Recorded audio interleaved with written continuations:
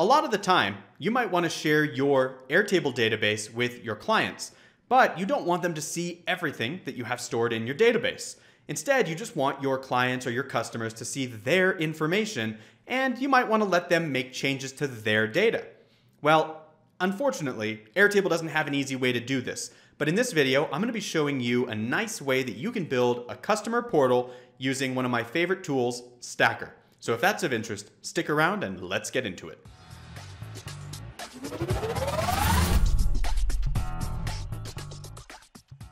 Hey, my name is Gareth Pronovost. I'm the owner at Gap Consulting, where we help you to organize and automate your business and life. If that's of interest and you want to learn more, do check out the links that I'll include in the description below. We offer a free Airtable crash course to get you up to speed quickly with understanding how Airtable is different from spreadsheets. But without further ado, let's just jump into the heart of this video. We are talking about building a workable front end for your Airtable data. The first step that you'll need to crack before you can move on to actually building the portal itself is, of course, building the right structure in Airtable. Now in this example, I've built a very simple and straightforward two table solution. I have clients, five different clients here. You can see that I've included their name, first and last, and email, and a little picture of them as well.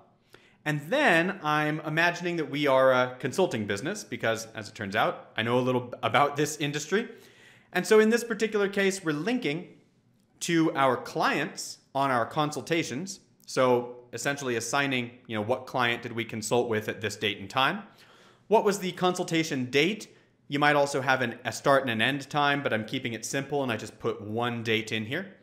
And then I also created a receipt URL, which for our case, I'm actually just linking to uh, a test you know, receipt that we did. So you can see that in this particular example, this is a Stripe receipt. You could, under normal circumstances, automate this so that you actually have a different receipt in each one. But for us, I just copied and pasted the same receipt, the same test receipt. And then also over here, I'm including a replay link. And so this link, the idea here would be that this is a link that goes to the consultation or a recording of the consultation. These are just some made up fields, of course, that I put into my data set. Your data set's gonna be completely separate. If you're doing e-commerce and you're selling things online, that would be a completely separate database you know, whatever the different scenarios are for your business are completely unique. And this is the cool thing about Airtable because it allows you to build a data structure that supports your business rather than you trying to adopt a software that already has its guardrails on and maybe you don't run your business in the way that it works. So that's the fun thing about Airtable. Just a quick side plug for Airtable. You know, it allows you to build whatever you need so that your business runs exactly how you want it to. So in this case, this is the sample data that I put in. Now that we're done with step one, we can go into our stacker. So in order to get here, just go to stacker.app. And if you don't have an account, you can sign up or start on the free version and get going. Once you're inside your apps, you can select create a new app, and then it asks you what your data source is. In this case, I'm gonna say Airtable and it's going to pop this up, going to ask us what we want to name it. This will just be an example, so I'm not going to be too particular, but just know that whatever you name it is also going to go into the domain name for your portal. So I might call this Airtable Demo. And it's giving me the automatic domain name airtabledemo.mystacker or uh, my.stacker.app. And I say next step, and it's going to create the app for me. All of this happens on the back end, and we just have to be a little patient, and here it goes. So we have to now have our user table ready. So note that the user table is going to be required for every single part of this. Now Stacker does say that you need a table to store with uh, store the people who will log into the app with a column for their emails. These might be clients, customers, or partners. Don't worry, we won't send invitations to your users. The first time they hear about the app will be directly from you. So don't worry about it. Once you have that in place, which of course we already have in our clients table, once you have that in place, you can click I'm ready and we can get into the next step. Now we have to paste in our Airtable API key. If you don't know how to find it, you can follow Stacker's documentation here. They've put together all of this already, but in my case, I'm gonna go ahead and pop in and get mine. I will go into my account here open it up, and my API key is right here. I'll copy this and paste it into my Stacker app. Now we are asked to provide our uh, link to our base. If you're not sure how to do this, you can follow the documentation that Stacker's put together here. But really quickly, what I'm going to do is go back to my base. I'm going to click on share. And if I click on share the base, this particular part right here will create a shared base link. So I'll select this and say, yes, I would like a private read-only link, and I can copy this link here. You have a few options, allow viewers to copy the data into their base, show apps added to the base, restrict access with a password, etc. These are all toggled off for me. Shouldn't make a difference for you, but just be aware that you have these different permissions here. Once I've copied that base link, I'll go back to Stacker and I will paste that in here and move on to the next step. Now we are all set. So they are going to connect to our Airtable to set up the stacker. It can take a couple of minutes for a large base. Ours shouldn't take that long because it's just some sample data that we put in there, but I'm gonna go ahead and click start and let Stacker run in the background. It didn't take long at all, so I'm gonna click on next step here. And now we have to tell it where our users are. Our users live in our clients table, and you can see that Stacker already is talking to our Airtable base. It's saying, hey, uh, you know, I already know what your different tables are. You've got clients and you've got consultations. Which one has the data about your users? Of course, for us, that's our clients, right? We're building a user portal. And then it says what column contains your user's email address, and that's pretty straightforward. Again, we only have so many different fields in our base, right? Flipping back in just as a reminder, we have a first name, a last name, a full name, an email, a picture, and a linked relationship. Well, Stacker knows it's not the picture and it's not the consultations, but it could be any of these fields here. And so those are the options before us, but of course in our case, it's email. Select it, move on to next step.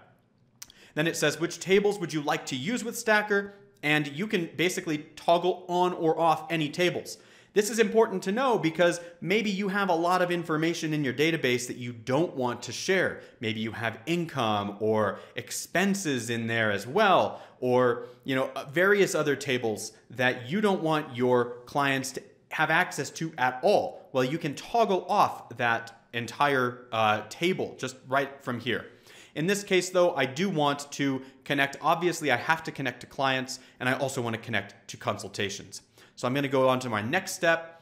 This is where I can add personalization to my app. So if I want to bring in my logo, drop in my brand cover, uh, brand color, I can do that. Uh, in my case, I'm going to drop in and snag my logo real quick. I'll grab this, just drop it in, and let's throw my color in here. And I can decide whether I want light or dark on my nav bar. Either way, whatever you prefer. So a little bit of customization, which is a really nice touch. And then that's it. I am now set up and I can go in here. So I've got a checklist here to move into. We've got a portal and a CRM. So they've put together a few videos for us that we can watch inside of them uh, and then set up my data permissions, etc. But if I'm flipping through here, you can see that I can already see here on my app that I've got clients and I've got consultations inside of this. So my user portal is already starting to look like something. So I can log in and see all of my clients right now, and I can log in and see all of the consultations that have occurred with those clients. Now, of course, this is not how I want to see this data, right? I want this to be a custom user portal so that my customers can log in and only see their data because I don't want George Jetson to see Yogi Bear's consultations or vice versa. So we need to go back into our setup and take care of that. Let's go ahead and drop back into our settings so that we can set this up appropriately. I click on the gear icon and, and go back to Setup Home. I'm going to go ahead and scroll down here to my different tables.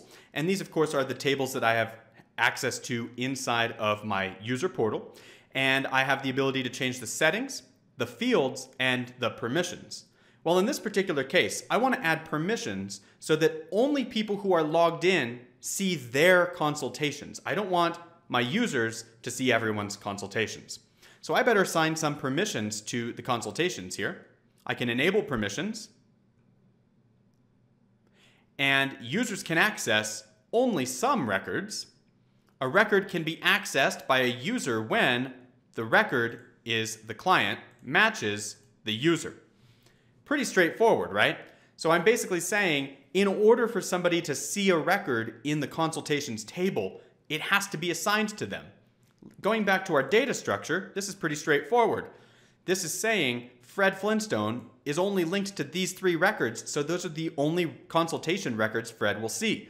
Of course, I don't want Fred to have access to everyone else's records. Now, similarly, I might also want to change the permissions of the clients table as well.